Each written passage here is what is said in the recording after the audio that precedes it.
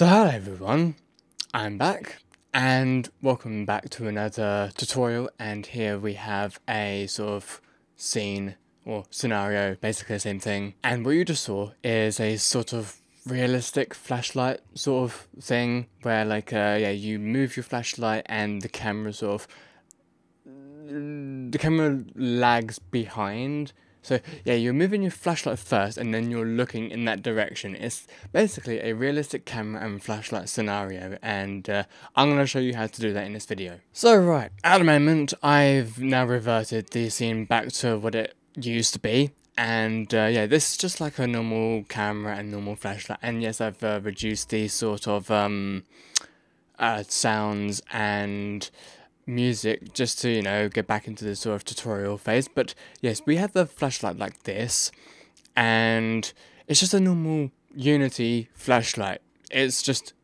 dead in center and not like uh being realistic or anything like that. Although it's still the same sort of shape, so hang on a moment. So here we have the basic flashlight. It's not even looking realistic or like really special or cool or anything. It's just a basic flashlight. So first of all, I want to show you how to get like a more cooler, stylistic or like, you know, realistic flashlight. So first of all, let's get our spotlight off of the uh, first person character, camera, whatever. And over here, we've got this thing called Cookie. Now, if you're using, I think maybe Unity 2021 and above, uh, I think I don't know if cookies are allowed or I don't know if they work, but if you're using uh, 2020 and below, I think they still work. So to get a cookie, all you really need to do is either uh, get like a texture and uh, actually, if I uh, go to like say black, I think uh, this is like a image thing that I created. So let's go over to texture type and we've got cookie there. I'm not going to change it, but if you got a texture from the internet or you made your own texture and you sort of stylized it, then you can change the texture from a default texture to a cookie and then I think you would need to actually let's change it to cookie and then go for a when you click on the light type um, oh wait, no, no, it needs to be grayscale. Right. So, but apart from that, let's just change it back to sprite. So let's not worry about the whole changing a texture from a texture to a cookie. Let's just worry about actually applying the cookie to the flashlight. So to get the cookie uh, onto the flashlight, uh, you can actually get a um, a bunch of different cookies from the Unity standard assets from 2018, and I've got them imported right here. So let's just go to Effects, uh, Revert, and we have light cookies, and we've also got light flares. But let's just uh, focus on the light cookies and textures, and we've got uh, flashlight cookie. Actually, can we? Yeah, we can. Okay, so this is the flashlight cookie, the sort of realistic one, I I guess. We've got the irregular one, which has like a, a weird texture to it. And we've got a very, I don't know, hard outline of it. I don't actually know what this one will look like. I'm going to have to look at that in a minute. But we've also got the, uh, the default... Actually, hang on a minute. How will that look? The lighter soft one. What? Wait, wait, what, what, wait, what, what? Uh, what? Um. Oh. Oh, I've never actually seen that. Okay, so what is the light hard cookie then? Oh. Okay, so what's the light square cookie then? Oh, that's weird. I kind of like that. But anyway, uh, let's just uh, apply the flashlight cookie to it. And there we go, it's just like that. Now, to get the flashlight to be moving before the camera moves, you need to first take the well, since the spotlight is a child of the camera, so the camera, uh, well, the spotlight is always following the camera. Let's just take the uh, the spotlight and make it a child of the first person controller, so of the actual body itself. And now, if I play it, uh, the spotlight is not going to move with it.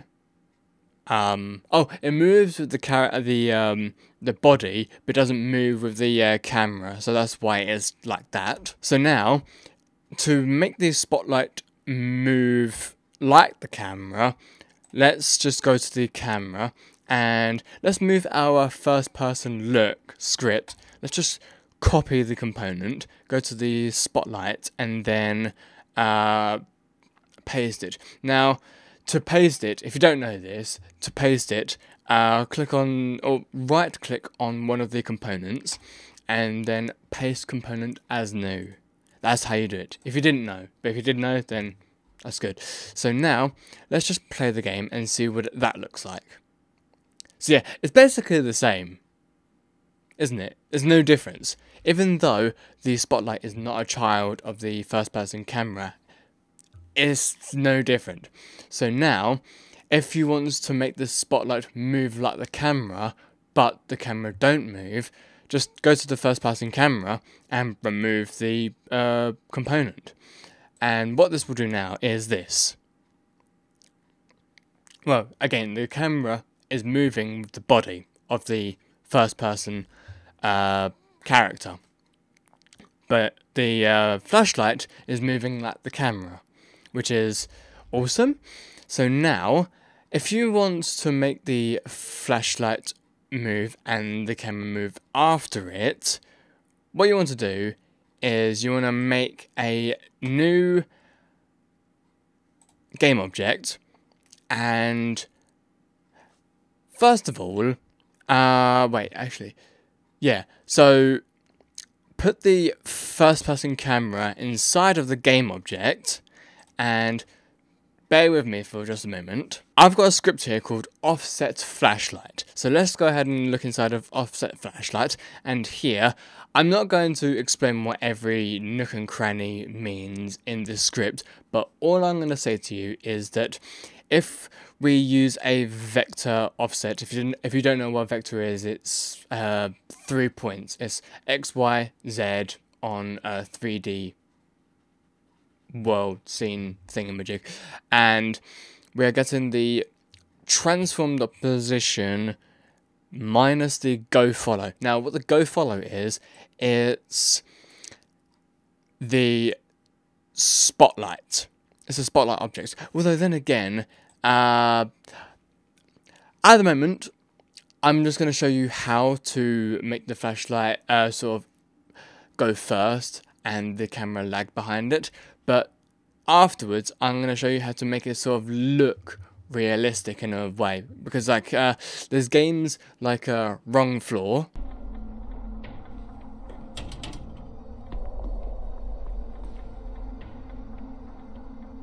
And Romut.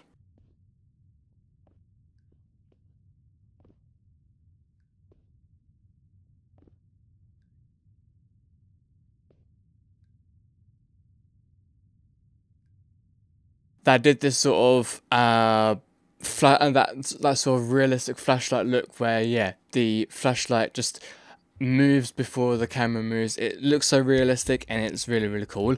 But yeah first of all i'm going to just show you how to make the camera lag behind the flashlight. So to do that we are going to drag the offset flashlight onto the game object and go into the game object and with the go follow, we're going to put the spotlight from the first person character and put that into there. Now, first of all, let's just change the speed to maybe about 5 or something.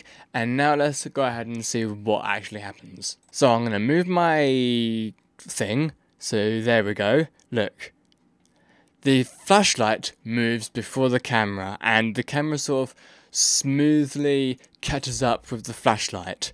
And this is such a good. Whoa. Um. Um. What even is that? Wait, hang on a moment. Okay, so I fixed it. So, okay, I found out what it was, and what it was is I'm in the uh, spotlight flashlight component, and I had this thing called a flare on, and I completely forgot about the flare, but that's what it does, and because of the flare, I don't like the flare. But so that's how you do a sort of realistic flashlight in a way. You just uh make the camera follow it by uh, let's look at the script again. And what is happening here is, yeah, the go follow is the uh, spotlight, and the vector offset is the. It's like the. It's like the difference between the the position of the game object, which is this game object, which is what the camera is on, and the position of the spotlight. So there's a difference between the camera and the spotlight. That's what the vector offset is. And what it's doing here with the update is that it's constantly updating the position of the offset with the go follow and the vector offset. To be fair, I don't fully understand this whole script myself, but just apply this script to the game object which has the camera on it, not on the player object itself, not on the player character, but on a separate object which is following the player character.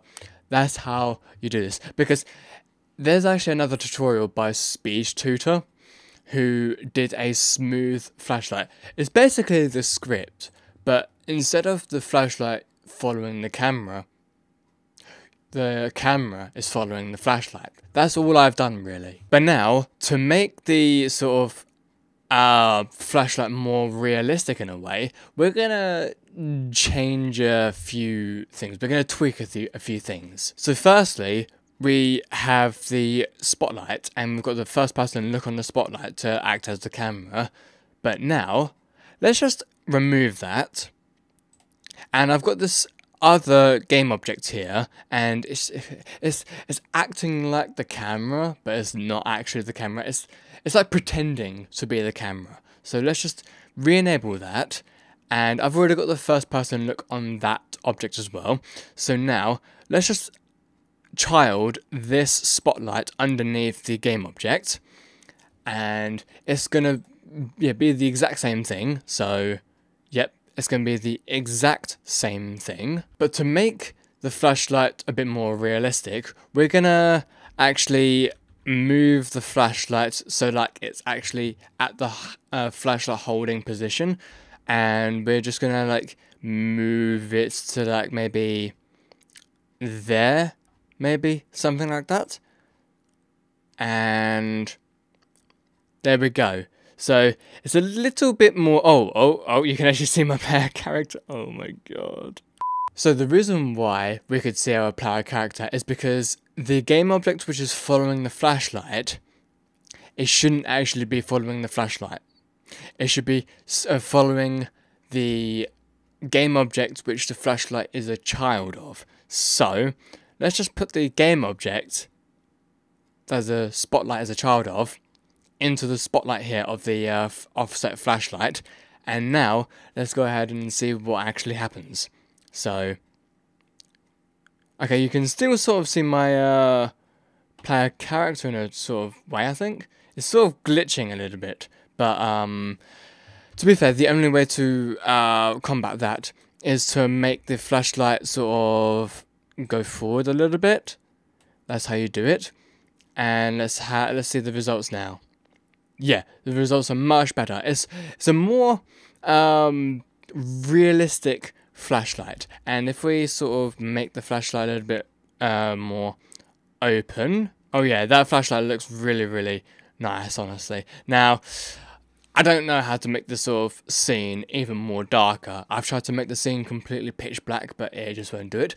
But that's ultimately how you make a realistic flashlight, and I will probably put this uh, project in the description so that you guys can uh, understand fully how to do it and play around with it yourselves. But that is how you do a realistic flashlight. So thank you so much for watching this tutorial on how to make a realistic flashlight. Um, I'm hopefully going to be doing more tutorials that are more specific rather than just, oh, how to make this, how to, well, actually, that is what I'm planning on doing, uh, making more tutorials on how to make this, how to make that.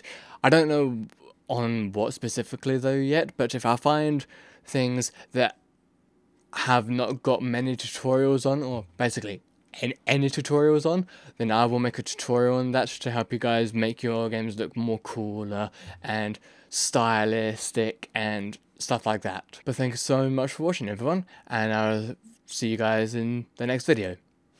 Peace.